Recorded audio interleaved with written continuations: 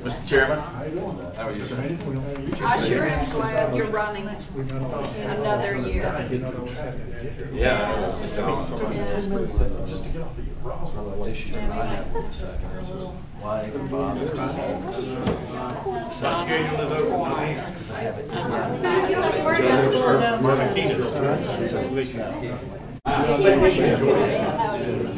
Which one? Yeah, they're always there. Yeah, we've got some friends that love it, so they can, so.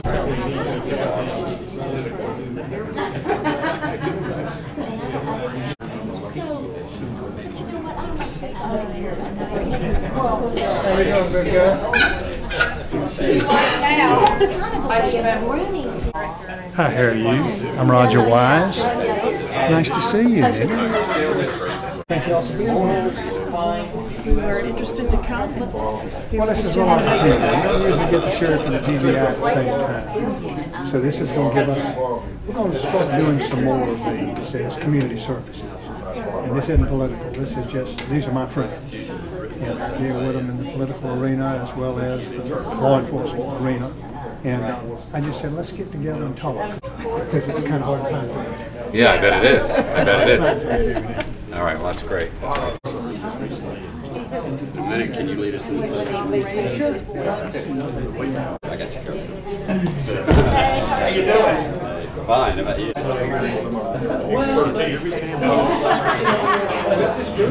Yeah, that is true.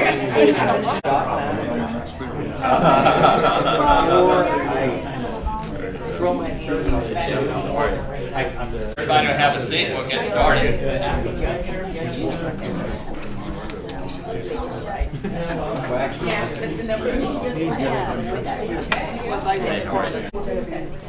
I could have your attention, please. Well, good evening. My name is Roger Bonds, and I'm chairman of the Fulton County Republican Party. And welcome to our first of our educational forums uh, that we're presenting uh, this year. And you know, uh, while this is not a uh, partisan political uh, program uh, this evening in any way, it's informational. Uh, We all know there's an old saying that there's nothing more dangerous than an uneducated voter. So this does go hand in hand. We, the people, we need to know uh, more, more about uh, this area. And, you know, like I'm personally interested in my Second Amendment rights, and I've already counseled them, and I'll be asking, and see how they respond to that. And you're going to have all sorts of other issues, items that you may want to ask about. Uh, Well, first, we want to start the meeting with uh, the Pledge of Allegiance, and uh, Scott, if you'll help us with that, please, sir. Come on up, and uh, we'll both stand here. I pledge allegiance to the flag of the United States of America and to the republic for which it stands, one nation, under God, indivisible, with liberty and justice for all. Yeah, thank you very much. Okay, well, uh, Roger Wise is going to handle this uh, program for us. Many of you know uh, Roger. He's uh, been with us at so many uh, programs, and he has now been officially appointed as the ambassador for the Fulton County Republican Party. He even has it up here. His jacket even is engraved, FCRP, uh, Fulton County Republican Party Ambassador. Ladies and gentlemen, Roger Wise. Very laid back thing, you know, when, when Raj and, and and Claire and I got to talking about what can we do in the community to make a difference? The best thing you can do is, is get friends and individuals to come and get one-on-one and ask questions and get answers. Um, you go to these big monstrous events and it's hard to get a question in to get an answer. Then when you do get an answer, it's usually a political answer. It's whatever they're afraid of. This is not TV or radio, this is a friend of ours, and she's got, making documentary CDs of our forums. And this is the first in a series of public forums that we will have. Somebody said, you know, Wise, let's do something on cell towers. That's a big thing now in neighborhoods. How about cell towers? And, you know, there's a lot of different subject matter. I happen to be very fortunate. I've been around a long time. I have a lot of friends. And I can call on my friends. and this is two right here. You know what a treat it is to have the GBI and the Fulton County Sheriff's Department in the same room at the same time. That's almost unheard of. And I want to thank them for making a special effort to be with us this evening. So please, if you would, let's thank them for being here.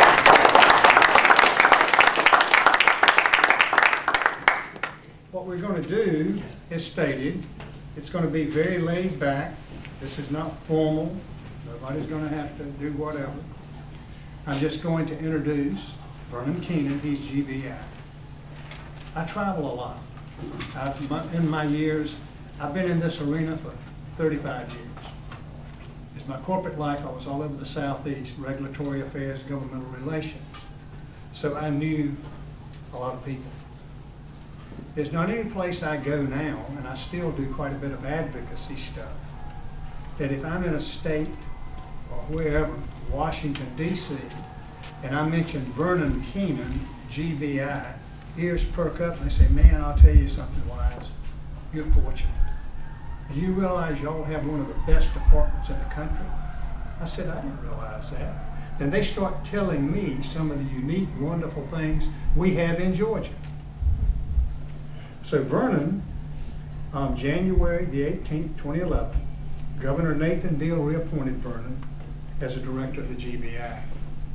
Governor Deal is a very, very smart man, and that shows you that. He's been promoted to every rank in GBI Investigative Division. Now Vernon usually wears his hat. He looks like one of those TV guys with his hat on, out just taking notes, ma'am, just notes, ma'am. That's all I want is notes, ma'am. He's a leader in the State Criminal Investigative Agency. They have 822 employees and a budget of $74.6 million. And I can tell you, they use our money in an appropriate way. There's no loose dollars in the GBI.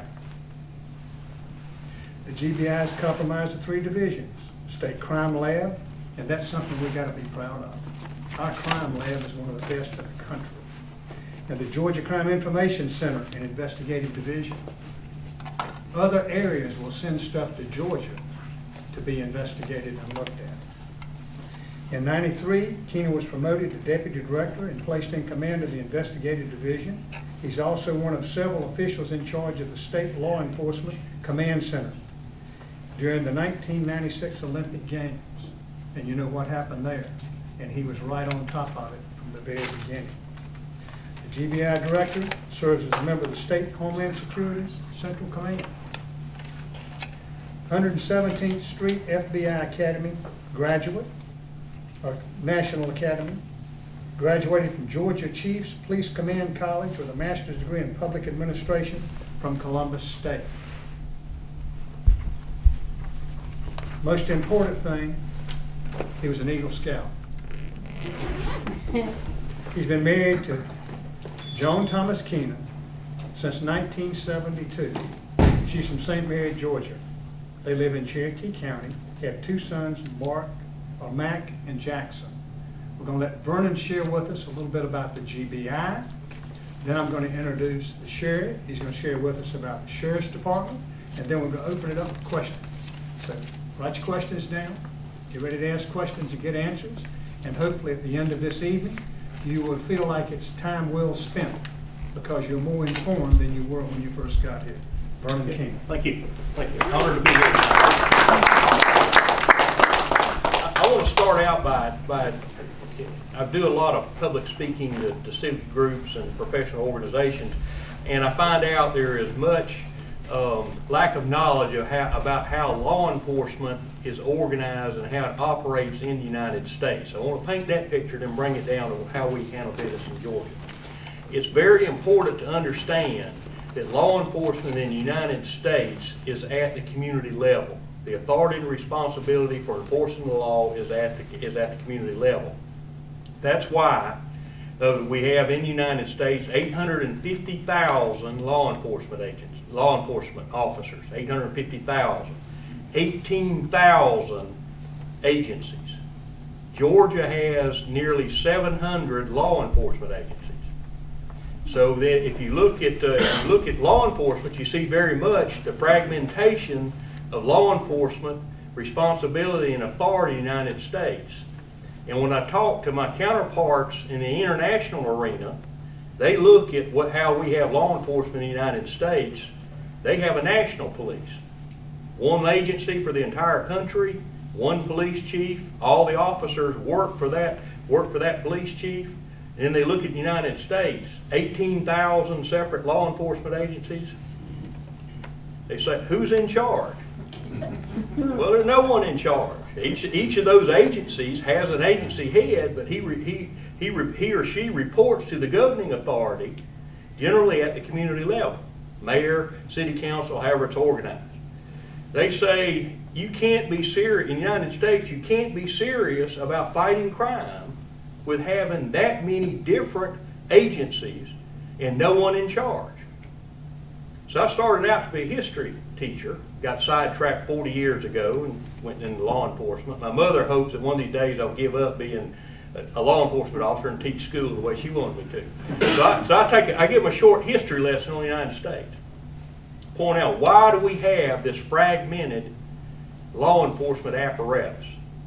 It's very simple. It's the history of the United States. It's to keep there from being a strong, centralized power. Amen. The authority is fragmented, and it's done that way for a reason. Because the country was founded in revolution and, and revolting against tyranny with a, with a, with a despot and a strong, strong authority there. And the United, American people are saying, no, we're not having that in this country. So law enforcement is fragmented, and that's the way it is. Now, in law enforcement arena, the sheriff and I, we learned, we, we, know, we, we know how to operate in this arena with all these different agencies. We are, we are the state investigative agency. Every state has an investigative agency. It's either in the state police, which is in the South, is not a good word. State police are in the northern states. That's where you have a you have a, a state level law enforcement agency that has a uniform component equivalent to the Georgia State Patrol and an investigative unit equivalent to the Georgia Bureau of Investigation. But it's one, one unit that has authority to operate throughout the entire state. In the Deep South, with the exception of Louisiana, that has a state police, we take it further than fragmented at the national level, and we fragmented at the state level. That there is not a state agency in the South that has state police powers. Tell you how this operates. In Georgia, I am appointed by the governor. My counterpart at the Georgia State Patrol is appointed by the governor. The Georgia State Patrol's authority is limited to traffic enforcement, not other crimes. GBI's authority is limited to being requested by a local law enforcement agency to come in and to assist them. That's why the GBI was created, not to be a state police, but to be an assisting agency. Now, we have original authority to work certain cases, such as drug and drug enforcement, bombs and explosives, mortgage fraud, identity theft, those specialized crimes that really local law enforcement um, lack resources to handle. So the state, we can, we can on our own initiative operate, uh, initiate a case. Otherwise, we're required to be requested to come in and work an investigation. And so our, so in, in Georgia, the authority is, the authority is very limited. I can be, the GBI can requ be requested by a sheriff, a police chief, superior court judge, district attorney, state court judge. That's about it. The governor can order us in. The governor can order us in as he did with the Atlanta school cheating case.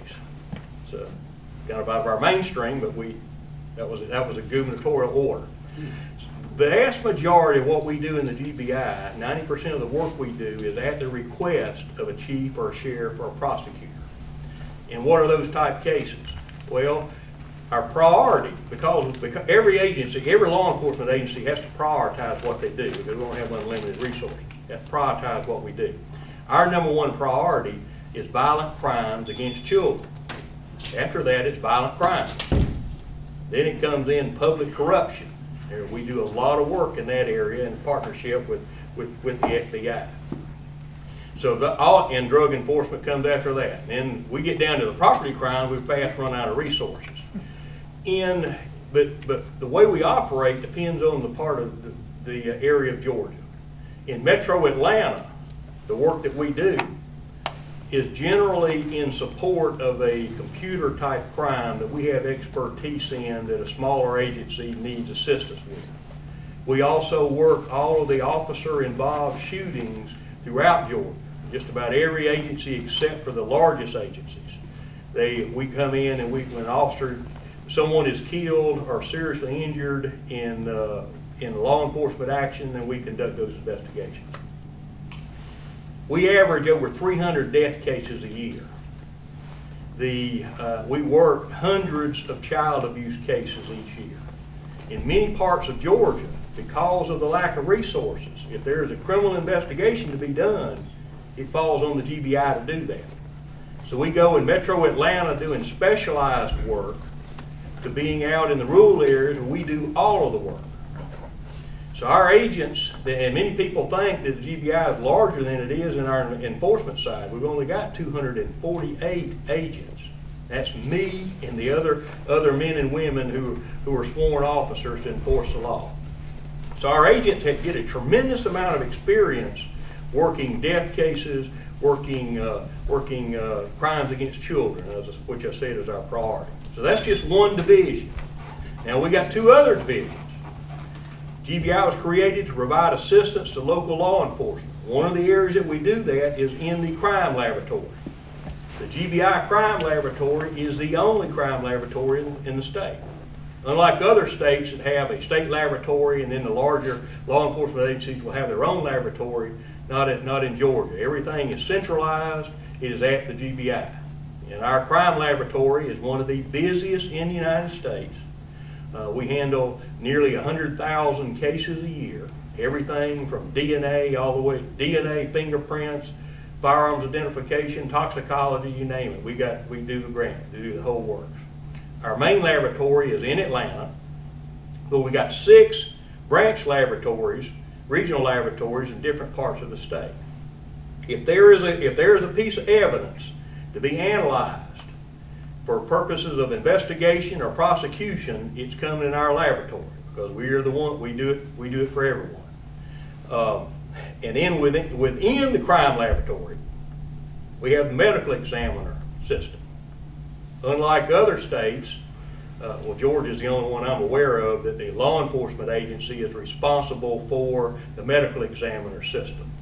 And we have 14 board certified forensic pathologists, which by the way is a doctor who has been through, who is a person, man or woman who has become a doctor.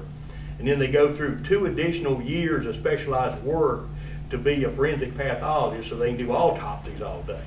But we do, we do autopsies for 151 of the 159 counties. Fulton County has its own medical examiner uh, system. Uh, but we do the we do the rest of the state outside of the uh, other metro counties. Uh, our uh, our ME office is also one of the busiest in the United States because we, we cover the we cover the entire state. It's 3,000 autopsies a year, uh, plus several other thousand where we do examinations, but there's not an autopsy there. We're the I'm, I'm not aware of another law enforcement agency that has this responsibility. Generally, it's in public health or it's in a university system somewhere. But it works out very well, works out very well in, in this state. The third division that we have, and here again, this is a sole source provider of service to all of the law enforcement agencies in Georgia, to all the courts, to all the prosecutors. That's Georgia Crime Information uh, Center.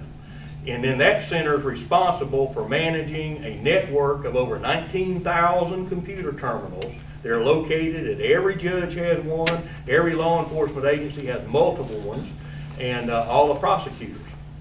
And they use that network to check our the databases that we maintain. Those databases, the primary one is the criminal history record system. That's where every person who's arrested in the state of Georgia, at the time they're arrested, their fingerprints are captured, and that's how we identify them, the person saying who they are and uh, also keep track of their criminal history records. That's, that database has 3.6 million fingerprint records, criminal records. That's also the number of Georgians that have been arrested since 1972 when the database was created. The, uh, and we, we main, we maintain several million other different types of records. For instance, if there's a firearm stolen, you're, you have a firearm that's stolen, you report it to the police, the police report it to us electronically, and it goes into a database of stolen firearms. Same thing with vehicles, property, boats, whatever, all that, someone who's wanted, there's a warrant out for them. That that warrant is entered into the database, and uh, any law enforcement officer in the United States who queries that database for the warrant is going to get a response back. So we, we may, our, our, our network handles about 2 million messages a week going across that network. It's extremely busy. And uh, by the way, we're also up 99% of the time. And uh, so it's uh, very critical. When that network goes down, it affects every law enforcement officer in the, in the state. So very, very critical. So what I'm pointing, what I'm pointing out is that our agency is sole source provider of assistance to local law enforcement in uh, crime lab and in the, in the database uh, queries. Investigations, we're just one of many. We do a lot of specialized work.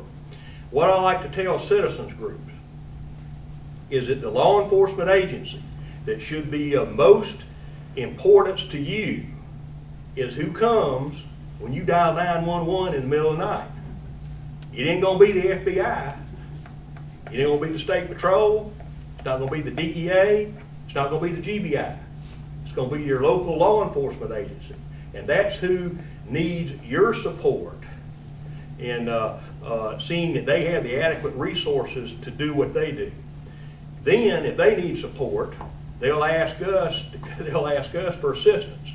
And we'll provide it if, if we have the resources. Um, gonna close out by saying, I want to paint the picture of uh, what's going on in crime in the United States. Because we have to listen, the, the- the sheriff and I have to, we were longtime friends here. And by the way, Ted was retired from the FBI.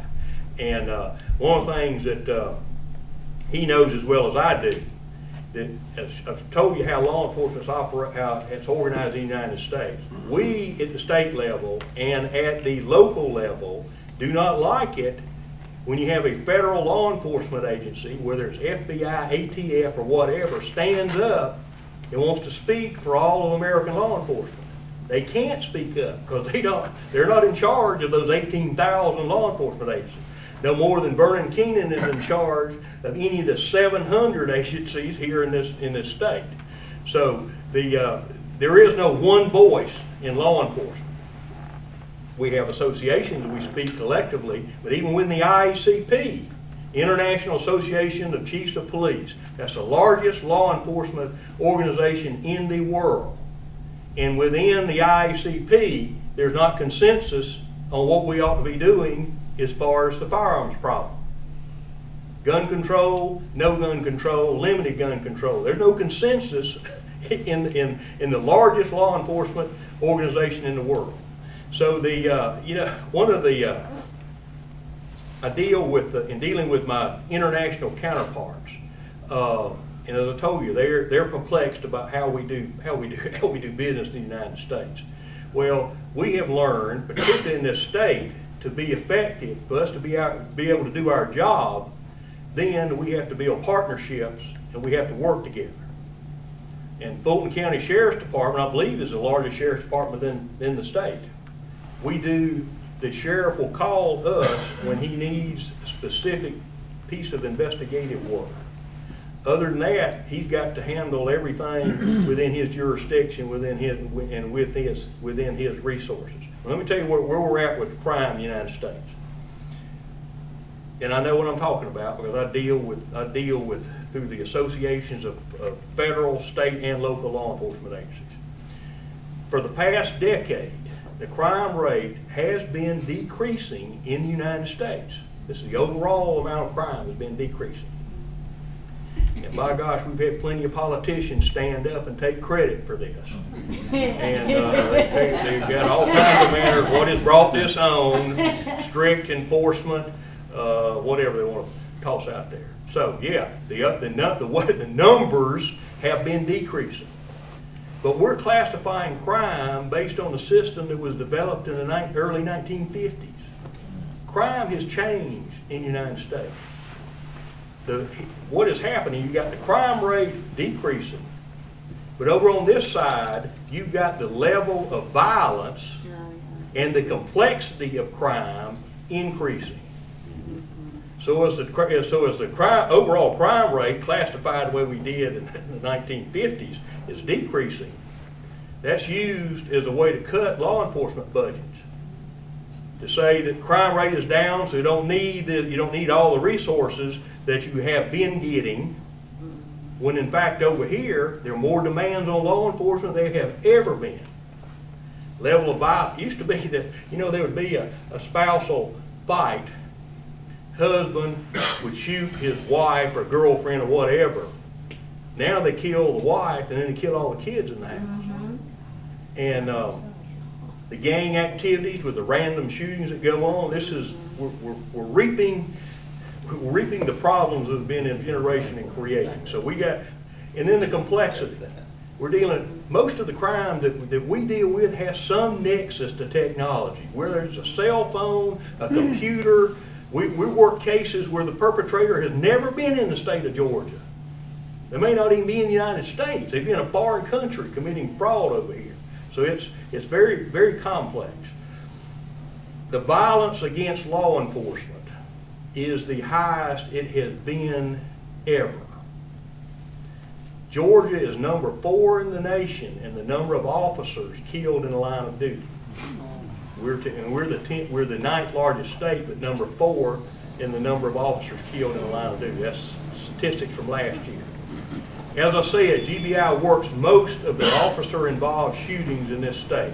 Officer kills or severely wounds someone, um, is- and we do the investigation. We work an average of two police shootings a week in this state. The ones you hear about here are the ones that are on the- Atlanta media carries, when in fact, we're, we, we're working the entire state, so I know what's happening. And it's not in metro areas, just in metro areas, it's in the small towns.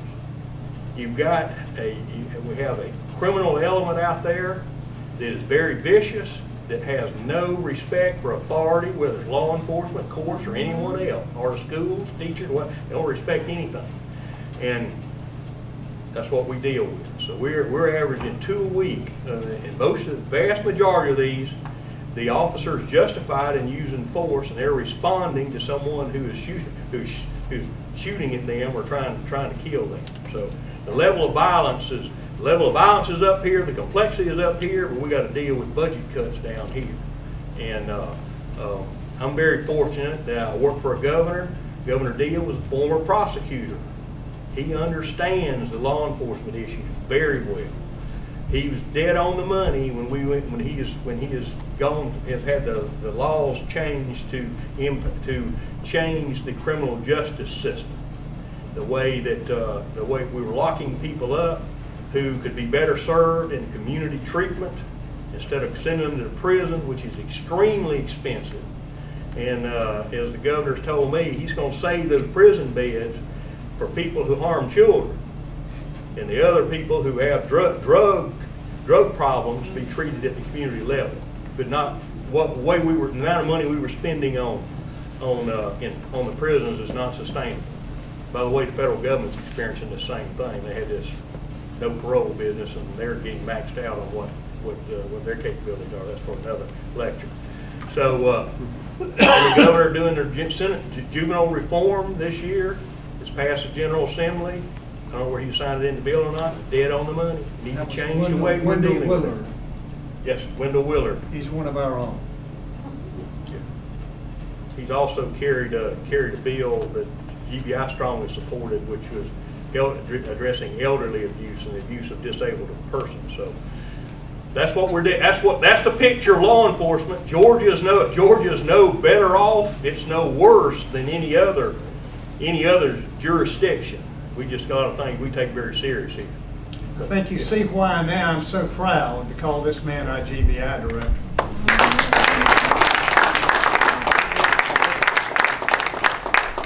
Please remember what he said. Governor Deal stepped into it somewhat of a, a testy situation. He's moved with a, with a firm hand.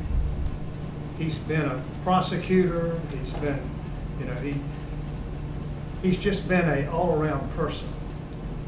And he respects this gentleman right here so much. And a lot of stuff that's taken place, it's a team effort now. Wendell did just, just not sit down and start writing legislation.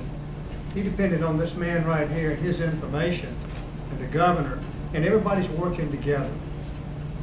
And the next guy you're gonna talk to is our crime fighter at the county level. Our county sheriff's department was literally a laughing stock for so long. I mean, the officers, and I know quite a few of them because I deal with the community and a lot of different, well, real quick before I leave, I'm a Mason. And we do something called CHIP, Child Identification. We take the kids and we do their fingerprints and DNA and all this other stuff. When we got this program, what was it, Vernon, what, eight, nine, five, six, six years ago? Yes. five, six years ago. We got it out of Connecticut. So I went to my friend Vernon Keenan and said, I want you guys to look at this and tell us how we can do it and do it to its very best. They were taking photos of the kid's face. Vernon's people said, take photos of the ears. And I asked why. And he said the ear is as distinguishable in a child as a fingerprint. And some of the high-tech cameras they have, if a kid goes into the system Amber Alert, they can be going through and the ear is picked up by the camera and it makes a hit. He changed the way that we presented our child identification program. And now I'm pleased to say the rest of the country is doing the same thing we do in Georgia. But that would not have been possible without the guidance and support of Vernon Keenan and GBI. The next gentleman we have this evening has been my friend for a long, long time. As stated, he was FBI. Well, oh, let's get back up here. 71, he advanced through various assignments and appointments ranging from supervisory special agent to inspector to principal deputy assistant director of criminal investigation with the Federal Bureau of Investigation. He assumed the duties of the FBI special agent in charge of Atlanta on August of 99. Following September 11, 2011 attack on the U.S., Sheriff Jackson personally oversaw the FBI's hotline assigned to Atlanta and was fully involved in Homeland Security protocols and establishment of Georgia's efforts to deal with weapons of mass destruction. After the illustrious 33-year career, he retired from the FBI in November of 03, and on July 26 of 04, he was appointed as interim sheriff for Fulton County, Georgia by the Chief Justice of the Fulton County Superior Court. They brought him in because that sheriff's department was in shambles. He said, hey, I'm retired. I don't want another job. But he said, I'll come in and clean it up because I live in Fulton County. I know what's going on. These two gentlemen here work as a team. We're blessed. You don't have that in a lot of areas. You don't have that in a lot of areas. These two gentlemen here, they put their egos in the trunk of the car. And they do what's best for the state of Georgia and for Fulton County. In 08, Sheriff Jackson was elected. We're so pleased that he chose to stay where he was. We do Leadership North Fulton, we do Leadership uh, Johns Creek, go down to the tour the Capitol, then go down to the county and end up in the Sheriff's Department or the county jail. People that had been before Ted Jackson and have gone after Ted Jackson, they are taken back. They said, my God, I can't believe the changes that's been made. He's a native of Baltimore, Maryland. He has so many degrees and everything else, I'm not going to read them all. Most important thing is he's married. Renee Mayo, they have two adult children. She keeps him in line. Behind every good man is a woman saying, move it, move it, move it. And I know what I'm talking about. So it's with a great deal of pleasure I present to you my friend and our friend, Sheriff Ted Jackson.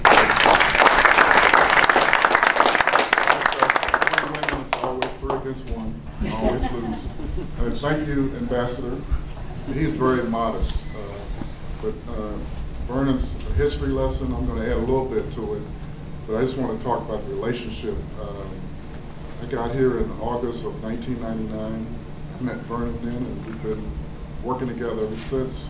Uh, We went through, um, what they call it, Y2K, Y2K together? and then the worst attack we ever had. And because of that, and the relationship we had, uh, we're still working together, and I still call him. You know, you heard that, I really do, still call him. I need help. What I'm gonna do, thank you for allowing me to appear, uh, because we have uh, two members of the Leadership Johns Creek, raise your hand. Sandy Springs. Sandy Springs, oh, Sandy Springs, same thing. I live in Johns Creek, I get confused sometimes. But we've been um, fortunate to have Leadership Johns uh, Creek, Sandy Springs, Atlanta come and visit because you don't hear the truth. All you hear about is the things that are going bad, but there are a lot of things going good, and we have to do a better job. And this really helps me because I can talk to you about it. Uh, basically, I'm going to take the history lesson, and we're going to go local with it. You heard state and national. Uh, local, a lot of people get confused about sheriff and the police department. And uh, director told you at you dial 911, you're going to get the police department. Uh, the sheriff's office might come out because we have deputies working around the clock and help the police department. But we very seldom will re respond to your initial 911 call, and that's the difference. Police, day-to-day safety, sheriff's office, our main responsibilities, running the jail, courthouse security, and state enforcement of state and federal laws. But we don't impact on the police departments, and I'll get to that later when we get to that. First, you know, I'm going to give you a little quick rundown of the makeup of the sheriff's office, so at least you know what we're doing. Uh, we decided that the sheriff's office was kind of dysfunctional leadership-wise. People didn't know who they reported to. Uh, some of them didn't even know the job they were doing. So we had to create an organizational structure, and we made it very simple. Uh, like you heard the director, we also have four divisions. We made it very simple. So if you ever have to call in the sheriff's office, you know who to ask for. And customer service is better when you call in and you know who you're going to ask for. The main division is the jail division. That's the bulk of what we do. It's 33%, no, 66% of the budget and the personnel. The second division is court security. Uh, court security is when you come to the courthouse, we try to protect you. Uh, lately, we found that people are coming in with guns and knives, even though we have big signs up that say these items are not allowed in the courtroom. But once your purse or whatever you have goes through the x-ray machine, if there's a gun, you're going to be arrested. Uh, there was a little article in the paper, I think last week, in eight days we found three guns. Uh, last year, the whole year, we only found seven. We're going to exceed that this year. So we're trying to do better public relations by warning you. And the latest one, we had a lady come in from Tennessee, purse. She had a Glock, a pink Glock. It was pink, it was pink Glock. Where'd she get it? 15 rounds. 15 rounds in a magazine, loaded. And she was coming to court to support someone that was going through family dispute. I'm not going to try to guess anything, but wouldn't you know if you in your purse had a gun and a sign says, Yeah. no guns Yeah. or weapons? And in an eight-day period, we had the same thing. They're coming in with loaded guns. So court security, uh, we, we're uh, now working on a command center that should be finished at the end of April. In March 2005, we had one of the worst uh, tragedies in this country, a shootout in the courthouse. So we've done everything we can to prevent.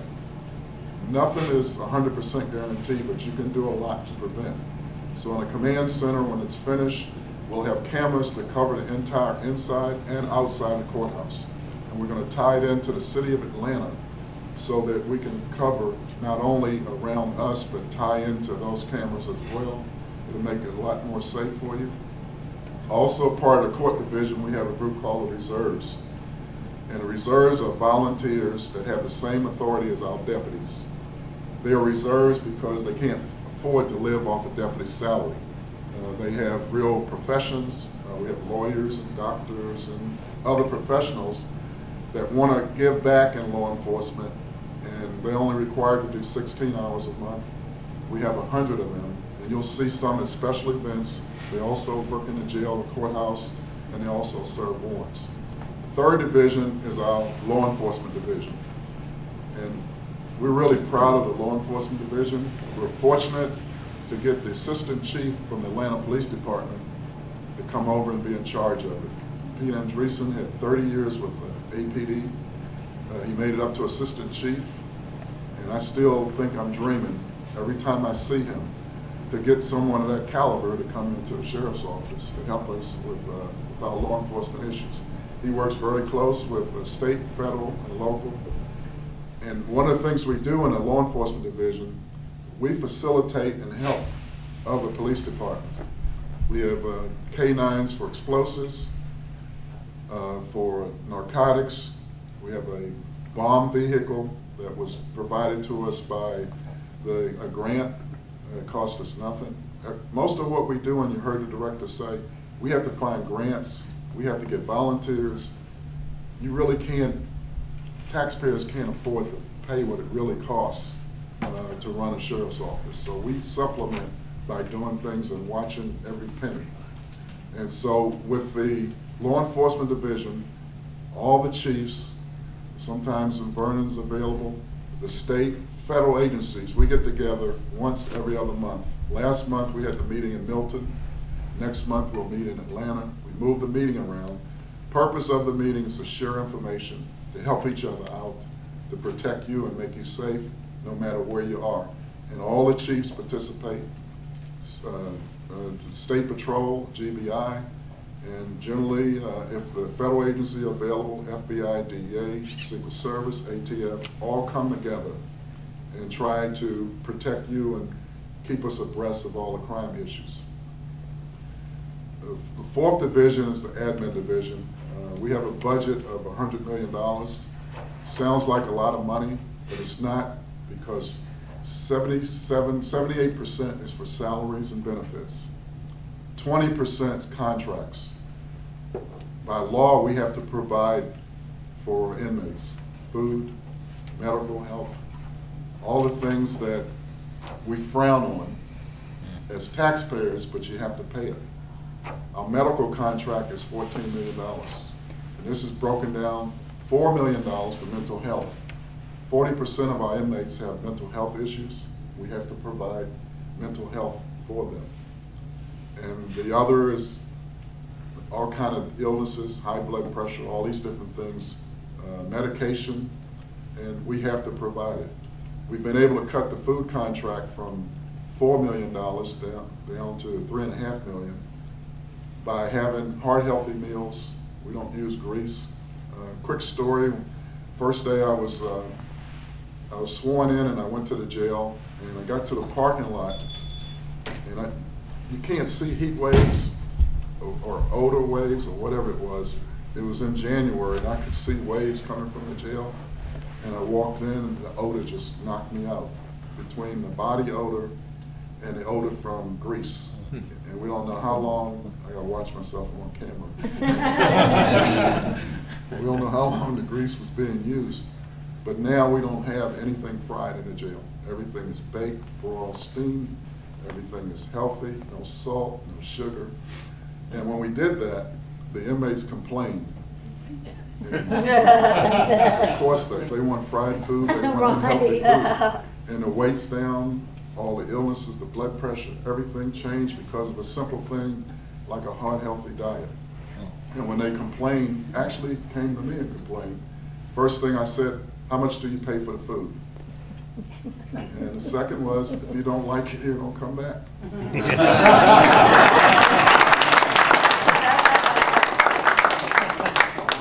Course, they come back. We had an eighty-two percent recidivism rate. A little bit of breakdown on the jail. Uh, we've got the lowest population we've had in fifteen years. And that's because the justice partners are all working together. We meet once a month. Uh, next meeting is, is the first Monday of every month. All of us get in a room, the judges, the district attorney, sheriffs, uh, clerk of courts, all the justice partners. And we've come up with a way to drive the population down. At one time, the population was 4,000, which resulted in, a consent decree. We're averaging 2,300 and less. All the inmates are back in the jail, no outsourcing as of today. And basically, it's the same thing that the director was talking about. We have a drug court, so those that can go into the drug court are getting treated, counseling, and they're actually turning their lives around. Same thing with mental health court. Because of that, that's 400 less inmates. And so we're looking at the recidivism, we're saying, well, how can we change that? So we have programs in the jail. Tomorrow we have a graduation, a GED, culinary, and I think floor tech graduation. So we develop programs because if you keep the revolving door going, it costs about estimated 72 to 84 dollars a day for an inmate. I mean, I've heard people say that's more than per diem they get on the job. Is that more than yours? Yeah.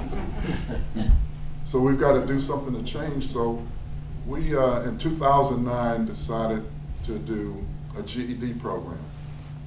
And if you're in the world of education, you know you've got to do some uh, pre-screening for the GED program. And we had volunteers, we don't force anybody. And jail, jail is supposed to be a holding facility, and I'll talk about that a little later, but a jail is a holding facility for trial. And so they're not supposed, supposed to be there long enough to have programs, but it's not working that way. Mm-hmm. And if you're sitting in a jail cell, you know, for years after years, you're gonna get yourself in trouble. Just think, if you're confined for that long period of time, idle time, you're gonna do something because it, that's just human nature. So we decided to offer a GED program, and we had 995 inmates sign up for it. And they were tested, and 68% read on a third to eighth grade level. So that was a setback for us because now we realized we had to do a pre-literacy program. So we have a pre-literacy program to prepare the inmates for the GED. But we're able, at least uh, for each class, we're finding 25 inmates, and this is for women and men. We try to have programs for both. And we got with Goodwill and we started a floor tech program. And the floor tech program helps in a number of ways. That's why when you see the jail, it's so clean. And when I see the inmates doing the floors, I mean, they're out of their cell and they take advantage of it. I see them buff one little square for like five or 10 minutes, one square a time. Oh, yeah. And, you know, they're out of the cell and they're doing something productive. And the first time uh, when they started the program and I went over, I was actually afraid to step on it. It was shining, it looked like glass. And so when this program is over, they're guaranteed a job from Goodwill and they're bonded. And so uh, the last class, we had an inmate come back and we tried to have them work with each other, mentor each other. Because we, we, we got to, it's a community problem and we got to use the community to do something. Inmate came back, he got his first check and he was waving around, I got my first check, he was very proud of it. It, it did a lot for him, but it also for the other inmates. They felt they could do the same thing. And we have a culinary program, they're gonna have graduation tomorrow. And they actually learn um, the tools of the kitchen. And it's a 12-week program, and at the end, they get a certificate. And they also, we try to help them get jobs in restaurants, hotels. And you might see some of them out there, you might not even recognize them. And now we're gonna start a body shop. And that one scares me a little bit. Um, They're gonna work on dented cars, and we got somebody to work with them. We also have a, a, uh pet program, uh, where we have ten inmates identified, we'll have five dogs that we train and work with to get them adopted. So the point is, we're trying everything to bring the recidivism rate down, and we talk with the inmates, it's a common denominator. Third and fourth grade, they fall behind, they never get caught up, and they just hang around long enough to drop out. And then even with skills in today's economy, it's tough. If you got no education, no skills, you're gonna end up in jail. There's just no way around it. So we're working with them, and they talk with us, the ones that are respectful. You know, there are some that are so bad, and we call it maximum security, uh, sixth and seventh floor. We have to keep them locked up twenty-three hours a day. They're just out of control. And there's no, no choice. We had a, a former gangster, reformed gangster from Chicago, come into the jail to help us try to reach them. And when he came out, he said, I ain't never coming back. Y'all need to, need to give up. It's not gonna work. And I'm thinking hardcore gangster, but, you know, there are some people like that. And like the director said, those are the ones that should be confined. Others that we can work with, we have to find another way. And we got a program called a Second Chance Program. And this program is a grant from the federal government. And what we do, we identify inmates that we believe with the proper counseling can change and be productive in society. And it's a nine-week program inside the jail. And once they come out, United Way's got a setup for them. Uh, halfway houses and jobs or whatever care they need. It's a new program. We've only put four through so far. On the mental health side, we used to have inmates sit in the jail six or seven years. And they just, you know, there's no room in Georgia Regional or anyplace else. And we were pill factory. Just keep giving them pills. I go down and look at them and they just sit there and stare 24 hours a day. And you could tell they didn't belong in the jail. So we came up with a way to deal with it. And we partnered with Emory and the state provided the funding. We actually have doctors in the cell block. It's like a mental health hospital. Uh, we're only second to Georgia Regional in mental health care. And they actually counsel, do the counseling and the medication right in the cell with them. And because of that program, we're able to now either medicate them and counsel them so they go to trial, or if they can't, we get them in a bed and get them out of the jail, which costs less for you. And it's an experiment. Uh, it's been underway for a year. We're only the only county that's doing this right now. And so if this works, it'll be another avenue to get the mentally ill out of the jail so they don't stay there forever. Some of our inmates, um, they should, I believe that within a year, if you're in jail, you should have a trial. Uh, we've got one now that's been in six years. His trial started April 2nd, 7th. We had one that was in nine years that just went to trial last month. And what happens is that causes a problem for us because the jail is a holding facility, not a prison. But some of the inmates, they find ways to delay going to trial because some of them don't want to go down the road, as they call it, down the road. Because they go down the road, it's a lot tougher, but it's better for them to stay in the jail. So they do continuance, they fire their attorneys, they do everything they can to stall it. But we've started tracking them now. And so we know who's doing what. And we're starting to get them uh, one at a time because the jail is not a prison. But if you allow it to, it will become a prison. Now, I'm going to talk a little bit about our community involvement. Uh, we have a, an outreach program. And I told you how the inmates talk about what happened to them third and fourth grade. So what we did, we took the information they gave us and we developed programs to deal with the next generation to try to get them out. Uh, and our main program is Youth Intervention Program. It started two years ago, and this is true, true story. A mother calls in, she says, I've got an 11-year-old daughter, I can't handle her. I'm gonna bring her down and drop her off at your office. So, The lieutenant comes to me and we're laughing. You know, yeah, right, sure, she's gonna drop off her 11-year-old office. An hour later, the 11-year-old's dropped off and she says, I'm dropping her off and she's yours and leaves.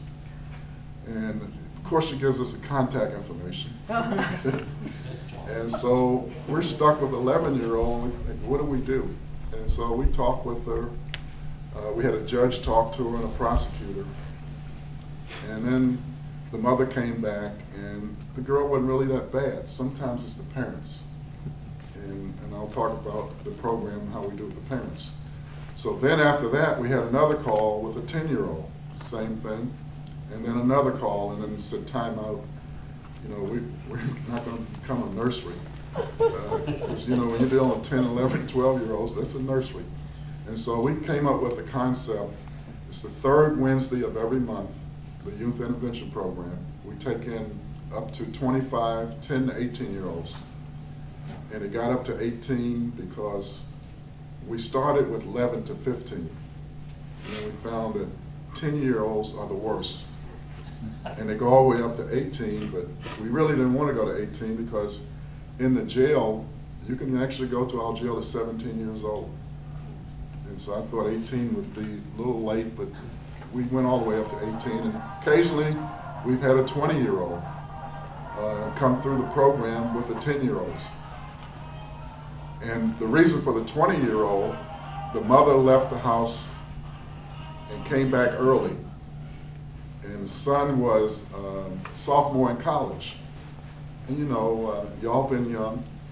You know, if you get the house to yourself, you invite your friends over. But in this occasion, his friends were smoking marijuana. The mother comes back, she catches him, she calls us.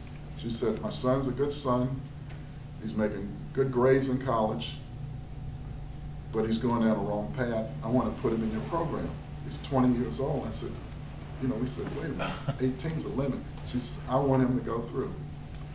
And at the end of the day, the little synopsis of the program, uh, they come in at 8.30, and they've come from as far as um, Augusta, uh, Macon, and all around us. It's not a Fulton County program, even though we would like for it to be Fulton County, but we can't turn away a parent that's calling in for help. And so you, they come in at 8.30 in the morning, and I meet with them and talk to them about the program. And then we've evolved to allowing the parents or the guardian explain why the kid's here. Because in the beginning, I would say, do you know, do you all know why you're here? And they go, no, we don't know. So I said, okay, we'll have your parents tell you. And a couple, on a couple occasions, I have to go time out because I can tell that some of the mothers, this is the first opportunity they've had to talk to their child hmm. with the child not fighting them or giving them a hard time because we're standing there with guns on and child ain't gonna do nothing. and, and then we realized as the program went on that the parents sometimes are the issue. So we have a counselor, takes the parents to a separate room after the morning thing, and then we go see Judge LaGrua, and uh, Judge does not play, you know that, she does not play. And they have some uh, assistant prosecutors to talk about the system. And we call it youth intervention because it's not scared straight. This is about educating these young people before they go bad. And some of them, when they get to Judge LaGrua, as tough as she is, they're still disrespectful. Because some of them are bullies. They actually, 14-year-olds, parents well, they're smoking marijuana. And I'm thinking, and they're not dead? Oops, But then we take them to the jail, and we take them to the worst part of the jail. And we have inmates and our employees that have evolved with this program, your word, evolved, evolved with this program. And the bullies, we have the gang members talk with them. And what's striking is that we see another side of inmates. They might be in for murder, triple, triple murder, or whatever, but when it comes to that, they really seem like they care. And they say, if somebody had done this for us, we wouldn't be here. So that's why we do the program. And for the women, we take them down. And if y'all want to see this, you can go on A and put in Fulton County Sheriff. And it'll come up because it was aired on A and E November 8th last year. And we got another version coming on again this season that's going to be even better. And they're going to come back and film two more. They say it's the only program, I'll use the ambassador's words, only program like it in the country. I mean, they have, it's beyond scared straight, but our program is really educational. And we're noticing that some of the other programs now are starting to include, and they have to copy us, because at the end of the day, who would think of having them come back to the office and writing an essay about what they have learned and how they're going to change their lives? And it, without fail, when they leave the jail, and y'all can imagine, it's a jail, so you know what happens, you know what the inmates do to them. We watch them. As a matter of fact, on the version that you'll see, we had a bully, she went to the jail, and a little inmate gets up to her and says, fold my underwear.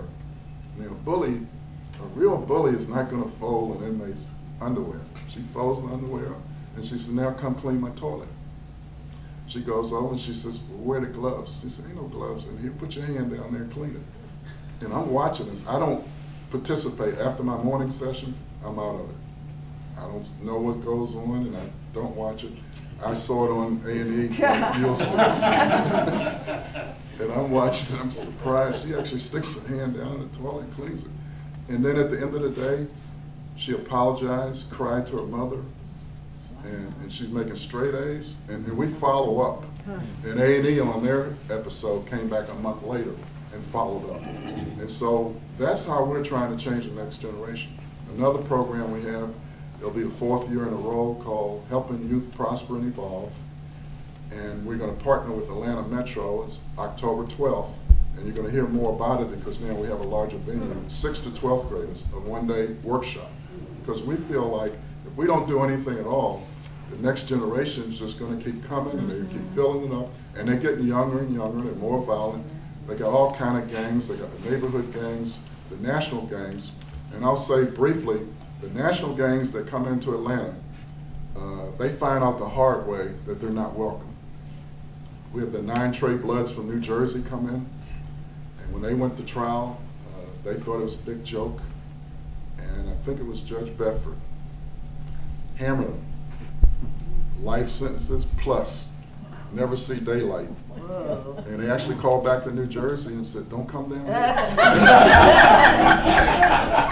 And and that's how we all work together to make it safe.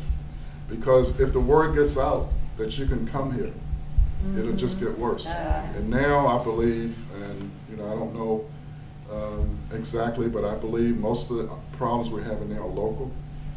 And with the DA's office, we have a burglary task force that uh, all the, the departments are working through. Uh, and we found that we've taken down some real large burglary groups because that was one of the issues. But the organized burglary groups, they're catching it. And then drugs have become a major issue here because Atlanta is like the center of the universe now. It used to be Miami and Houston, but with Hartsfield and with the highway system, we've become the center of drug trafficking. And we're hoping, and we stay on top of it, because you can see how Mexico goes how the druggies actually control everything in Mexico. We have to work hard to make sure that never happens in our country. And by us all working together, we can prevent that. And I see the ambassadors move behind me, so. So I guess we'll take some questions. I think now, thank you.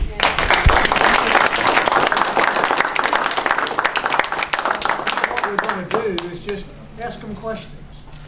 Ask them individual questions you have, just point your question to whomever, and they're just going to answer it and so forth. So, I'd like to ask the sheriff, your budget is strictly out of the uh, Fulton County? Yes, yes. But uh, money we get for equipment, you know, with seizures and such, we can use that for equipment to supplement that. And we have to find ways for training and other things that we're not funded for. We can get grants and, and there's partnerships. And I didn't bring it up, but part of our partnerships, we have some of our deputies, and this helps us budget-wise, because we can do more with the task force concept. Uh, we have a deputy on the FBI's Joint Terrorism Task Force. Uh, we have a deputy in DEA's uh, high-intensity drug trafficking, the HIDTA. Uh, we also have deputies with the U.S. Marshals Southeast Regional uh, Fugitive Task Force. And the FBI just asked for one of our deputies for the Cybercrime Task Force. So that helps us. We're always looking for ways to stretch what we have, but 98% of our budget is, we have no control over because of contracts and, and salaries and benefits. May I ask a related question? Sure. Uh, You mentioned Wen- Wendell Willard earlier. Uh, He presented some legislation in this session having to do with uh, uh, the property that was collected by sheriffs uh, from uh, drug interdictions and those types of things. Uh, Do you have an opinion about that legislation? Well, that was House Bill one, uh, but didn't make it out. And basically, the Supreme Court has ruled on civil forfeitures, and there was really no reason for the law. And so the sheriffs felt like you know, the sheriffs in the rural areas, they use forfeitures to help supplement their budget, and it's a deterrent for drug dealers and those committing crimes. And it was gonna be more difficult to do that, and, uh, so the sheriffs went against it. And that's a real polite answer. He's being very, he's being very diplomatic. So- Some, Commissioner Keenan? Oh. Director Keenan, Sheriff, whoever. For, for either one, Sheriff, you may, you may be able to answer this better. Um, in, in light of the, the the pushing of further gun control in Washington, um, a number of sheriff's associations around the country, um, sometimes entire states worth, have said that if any more gun control comes out of Washington, they're not gonna enforce it. Um, where, where do you stand on this issue? Well, it's evolved, well, it's for me, I guess. Or for either one of you, um, It- Mr. Keenan, if you've got a thought on. Well, he's too, already Mr. talked Bell. about IACP and everybody having different opinions. But remember, we take an o- oath to uphold the law. So we have to uphold the Of the law. We don't state. write it. Hmm? Of the state. You The law, take an no, oath to- no, no, Constitution. federal constitution and, no. and Georgia. Yes, I took the oath. Sorry. You- We have to did- did uphold you- the federal did you not constitution take and an To uphold the state And federal. constitution. I took the oath. Both. Okay, You, so the, you the, uphold the US and the state the constitution. constitution, yeah. so what, so what you're saying is that if any more gun control comes out of Washington, your sheriffs, your, your department will, will enforce it? It- Let me, let me say that it's not fair to a law enforcement officer to say, for, to say, you decide which laws you're going to enforce and which ones you are not. That is not our job. Our job is to enforce the law. We don't make the laws. If they're poor laws, I don't have any control over that. But if a law is passed, the men and women in GBI are going to enforce it because that is the oath we took. It is a very slippery slope when you have a law enforcement officer, or worse than that, an executive, stand up and say that they're not going to enforce a law that has been legally passed. That is, that is, that's what happened in the civil rights arena. But even if it goes against We the had- We Constitution? had, had, excuse me? Even if it goes against the Constitution. I don't know that it go, you Well, know, that- if that's- if it that's the goes, concern. I'm not gonna argue this because here, I don't, I don't get to make these decisions. This If it goes against the Constitution, then the US Supreme Court is gonna so rule. But you cannot have law enforcement officers saying that because I individually am opposed to this law, I'm not going to enforce it. That's not, they, they don't have that, they don't have that authority, they don't have that luxury. Uh, the I the have- problems we've had in law enforcement were, were when executives and officers just made those decisions. If I decide that the legislature is going, and legislature passes plenty of laws in this state I disagree with, but I'm going, I'm going, I'm going to uphold, going to uphold those laws as, as best I can. So we can't, uh, that's, you know, whatever comes out of the gun debate, law enforcement has got to live with. And we got to enforce the law. And we can't decide on our own that which we agree with, that which we disagree with, and we're going to enforce, not enforce. It doesn't, doesn't work that way. I Well, have I'm just bringing it up because I, I've heard in a few states where police have actually gone and confiscated people's guns. I can't speak. It has to- happened. I can't speak to, I can't speak to other states. You know, I He can only tell- speak to Georgia. I Would have you do friends, I have friends even in Georgia, in some of the areas of Georgia, they're sheriffs and whatever, and they said, I'm not gonna do this, I'm not gonna do that. That's your own individual, but they take an oath, and the oath says they enforce the law. If the officer is not willing to enforce the law, then they need to leave. They need to quit their job. And that's a, it's, it's a bad If it's a moral dilemma for them, the, the, you solve the dilemma by leaving that job, leaving your job and go to something else. So you're saying that you would, uh, uh. He's saying I'm he's taking going from to that enforce that the law. You would follow the law and confiscate citizens' weapons. I'm going to uphold the law. What about the Constitution that you He swore an said oath he's- to? I don't have, it, it, I don't have the luxury, nor do any other law enforcement officer to decide what is constitutional and what is not constitutional. Then what'd you That swear? is, that is why we have a court, that's why we have courts out there. I guess we're doomed. So, You realize what it comes down to? I think the discussion on all this, I mean, it's still evolving, nothing's passed. Yeah. They're all working something out. They're both sides to this. I think what the issue is, we're trying to figure a way to get the guns out of people, hands of people that don't, people. shouldn't have them. Yeah. And that's what we're talking about, and I think that's the way it's gonna come down. And this. You'll never take the guns out of the criminals, you know that as well as I. I don't care what you Can say, we I'm get order saying back that's what into we're this trying to particular do. meeting and let people Yeah. that are raising their hand to be recognized, to ask questions, be recognized by the moderator of this? Jim? I would appreciate that. Jim? Thank you. Director, I want to applaud you. The Rotary Club is uh, taking an initiative now in response to the human trafficking that's occurring. And you indicated that your primary goal was to uh, apply your resources against, uh, uh, against violent crimes against children. And it's an amazing thing that is occurring in this state. When you mentioned the, the whole issue of, of drugs now, human trafficking in this metro area is one of the highest in the country now, I believe. And so I would just ask both of you if you would be available to assist us, Roger the Rotarian as well, in this initiative that we're trying to move out through our District 6900, which encompasses this part of the state.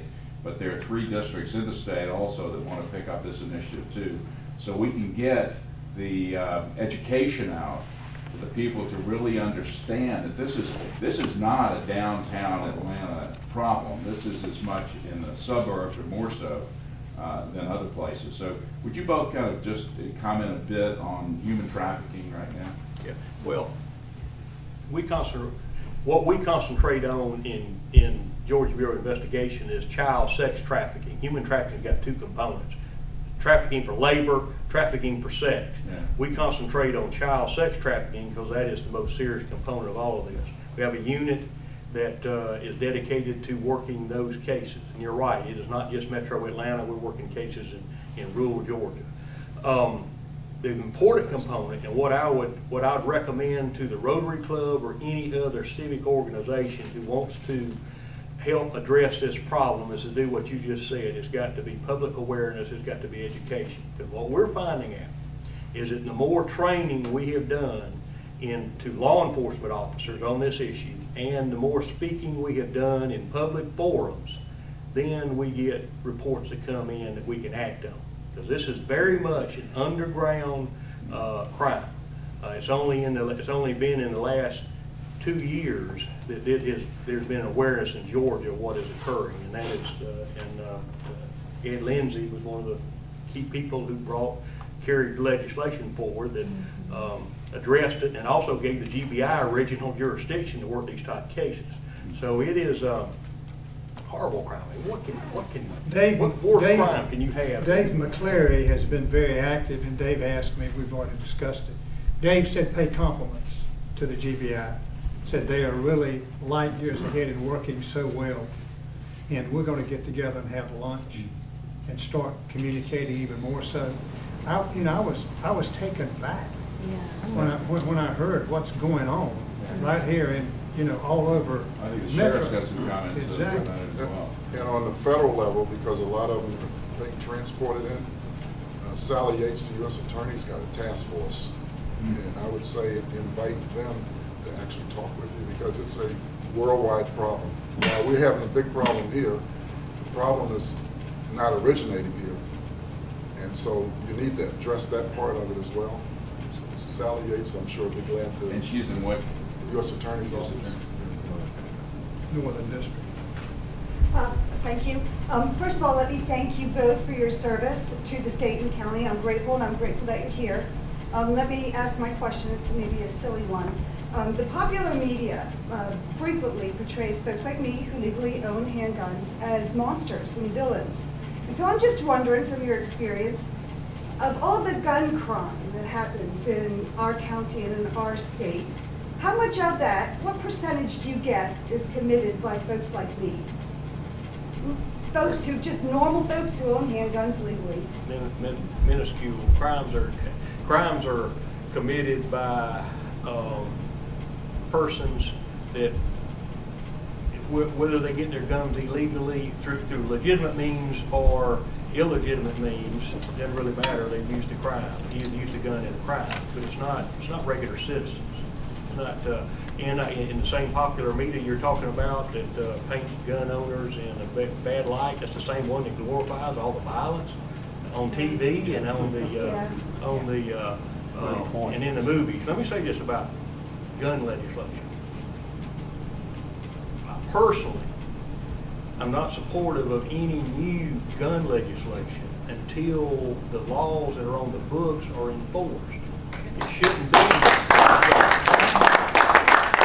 I just laugh at if the U.S. Department of Justice wants to push additional gun legislation, before they do that, they ought to take every case that we send to them where a convicted felon is in possession of a firearm and not have the luxury of saying, I want this one and I don't, I'm not gonna prosecute this one. If they prosecute, if we prosecute that which is already on the books, then we'll be, be all much safer. Uh, I'm Charlie Wingo. Uh, I've been active in this party for a few years. And the first thing I'd like to say is, uh, Mr. Sheriff, I want to compliment the work that you are doing, the, the, especially in view of preventing people from coming into the jail in the first place. That is great. I hope that the Fulton County Commission is aware of that work because quite frankly, quite frankly, I think that, I think that is money extremely well spent. And I just want to say thank you for coming out here tonight and talking to us, and making your presentation, and thank you for your service. Could you pass that on for me? I sure will. Thank you, sir. Um, Sheriff Jackson, it's kind of an interesting question for you. Uh, when are we going to get Judge Shoob out of your knickers? Uh, Probably never. And the reason, I mean, the sheriff's office, we've done everything we could possibly do to comply with the consent decree. And there are two issues keeping him from leaving. One is the locks, and the other is staffing. And when that happens, then I'm sure he'll move on, but it hasn't happened. the lock issue? Yeah. We've read a lot about it, but I don't know it's true. Well, on the jail locks, uh, just a little bit of history of the jail. Um, We moved into the jail in 1989. It wasn't built up to modern standards at the time.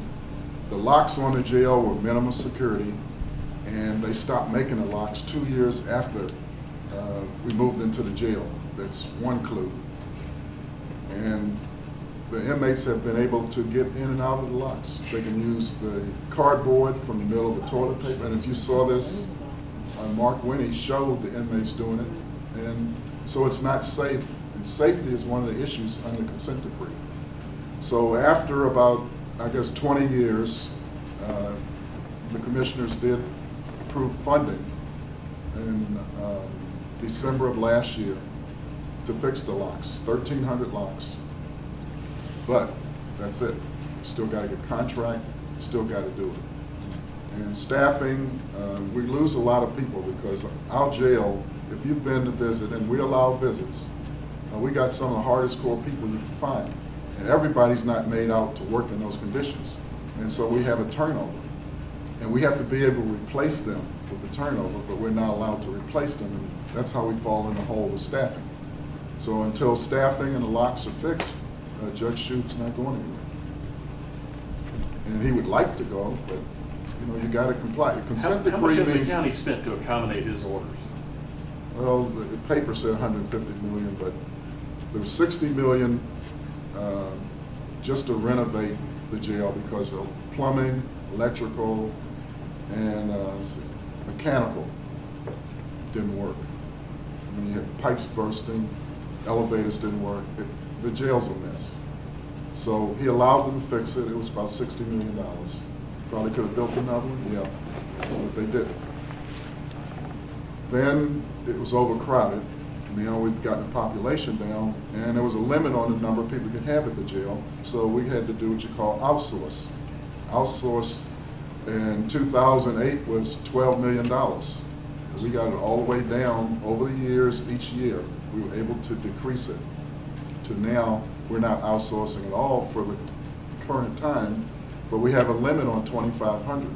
We have no control over crime. So if crime comes back again, director said it's down, but everything that goes down goes back up. It's like the stock market? And so when it does go back up, we don't have a solution. And so that's something else that they're looking at. Right now, the population is within the consent decree, but a consent decree is all parties sitting down, agreeing to do something to keep a lawsuit from going through. And so you have to comply with what you agreed to comply with. And those are the two items that are left. Everything else, we've done everything we can do. We've cleaned it up, hard healthy meals, we're providing proper medical care. Everything we could pos- possibly do in the sheriff's office, we've done. We have no control over spending for the locks and staffing. They've made it very difficult for us. Who's they? Commissioners. County commissioners.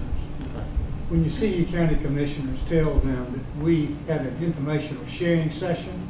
We get that map passed, it'll make. We had, an- well, that's true, and that map's gonna pass. Informational sharing session, and that we want them to know that they need to support our sheriff and our jail. I'll agree with that. Uh, I rode, uh, with, when I was in the Sandy Springs, uh, Police Academy, uh, with an officer, and he told me, I asked him about the apartments, cause it seems like the gangs and a lot of groups move into the apartments. And, uh, I said, are we, how can we get drugs out of Sandy Springs? Sandy Springs County. And he says, we can't. He says, for every one we move out, we get two in. How can we uh, control drugs, or is that like prostitution, something that's gonna go on forever? Well, it's gonna go on forever, but you have to drive the demand. And so education is one way. If people don't use the drugs, that'll stop it. That sounds like it's very But there's difficult. so much money in it, people love to get in it. Yeah, but some kind of way we have to stop people from using it. And now we have high school, like I was telling you about the program, we have four, 13, 14-year-olds, you know, using drugs now. I understand in some of the schools, they didn't have heroin. So as long as you have that, you're gonna have a drug problem because of the money and the demand.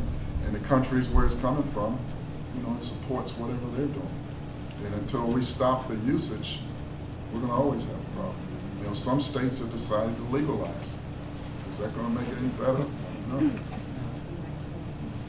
Well, we've got, yes, ma'am. Oh, I, I heard on the news today that Atlanta had the second worst crime next to Orlando. Really? I've never heard that before. I haven't either. You heard that? Heard what now? Uh, Atlanta's got the second worst crime next Did you to hear that? Orlando, Florida. What news was that? Uh, I was on TV, one of the news stations. Yeah, but you got Chicago and. Washington DC. I think they were, it was like certain kinds of crime, but I think they said Oh, it must, it must be, because it's not. But, I mean, yeah, I would violent think crime. Chicago or Detroit. Nobody can be Chicago. Yes, ma'am. Um, I had two questions for Sheriff Jackson. Um, and I'd like to thank both of you for being here. Um, one has to do with the timeline when the security that you talked about around the courthouse will be completed. There's some concerns because of the equipment that's currently being used, even though it's doing a good job because it's detected. Um, the parts can no longer be replaced, or at least that's what the other question is, You answered that one already, is the next one. The parts can't be replaced, it's outdated, old material, and why waste money replacing it when we're putting in new? right, the timeline of Yes. it, when. We're, when- we're hoping by the end of April. Oh, okay, soon. Yeah, yeah. And as equipment continues to break, but fixing something that's obsolete, it's just wasting money. Right. Mm-hmm. And we have to work a little harder and more diligently. Well, I do see more people, um, Yes. I'm in that building often, so I do see a lot more cars, but I wasn't aware that the equipment couldn't be replaced until recently. And the other question has to do with the warrant office. Is that under your jurisdiction, the warrant office? There's a department Well, called. it's a law enforcement division where they serve warrants, yes. That's under your department. Yes. Um, I didn't realize a citizen could just go in there and. Or you can come in, I anybody had come and get a no loan on idea. I- anybody. I thought that was, you had to go to the police, so I got some education. No, you can, yeah, because uh, you can come into uh, the sheriff's office and file a warrant, uh, protection order. And uh, some of the police departments actually send people to us. I'm not gonna mention any of them. I want to thank them very much. Now, what we're going to do is, they're going, to. this is the end of the formal part of the program. They're going to be here. Ask them questions one-on-one. But just, let's keep it civil, and let's just understand that they are, they're, they're quote-unquote trying to do what they're sworn to do, and that is upheld the law. But on behalf of the Fulton County Republican Party and this community, we say thank you for being here.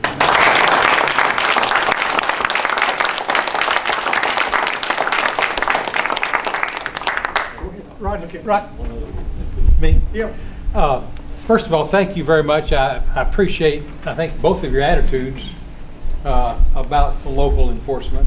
But I would like to remind you, as well as my fellow uh, citizens in this room, that the Supreme Court has issued rulings on the, on the ability of the states not to recognize federal regulations. That's in the United States, the New York versus United States, and the Mack Printz case, which was brought about by the Brady Bill. And Judge Scalia wrote the order of the court at that, and he specifically says, the federal government may not compel the states to enact or administer a federal regulatory program. And that gets back to, I guess, our basic uh, concerns today about whether we still are a republic with state sovereignty oh, under the, while we didn't hand off to the federal government, we retain, they have enumerated powers and we have what was left over. And, and although our congressmen have seemed to want to build more of a dynasty with the federal government and leave us hanging by threads here at the state level, it's up to all of us, including the elected sheriff and the appointed director of GBI, to join together to protect our liberty as we go forward. And I hope you will recognize what the Supreme Court has said, and let's join together and, and make sure we defend, may they, that the place that There's a difference between a regulatory program and a criminal law. And uh, the way I protect your freedom, is I have men and women out there who enforce the criminal law. And if someone, someone commits a crime against you, we're gonna do everything we can to put them in the Georgia prison system. Amen. I agree with you. Thank you. Thank you. Ditto.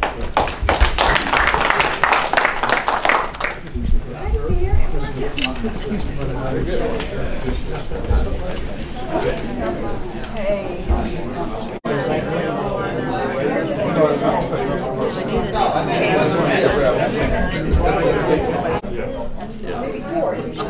What's that like? On the other hand, Represent your interests, and that's what, that's another thing we got to do. Yes, ma'am. I've been, I've been in law enforcement forty-one years, so I. I mean, so that's the thing, is like, we're trying to bring everybody monthly breakfast sandwiches in North County, like one year, we did it in Midtown. You know, that's, you know, you. So what They say they want to name. But he'll give you guidance. Well, well, I mean, there's, a well, there's ways.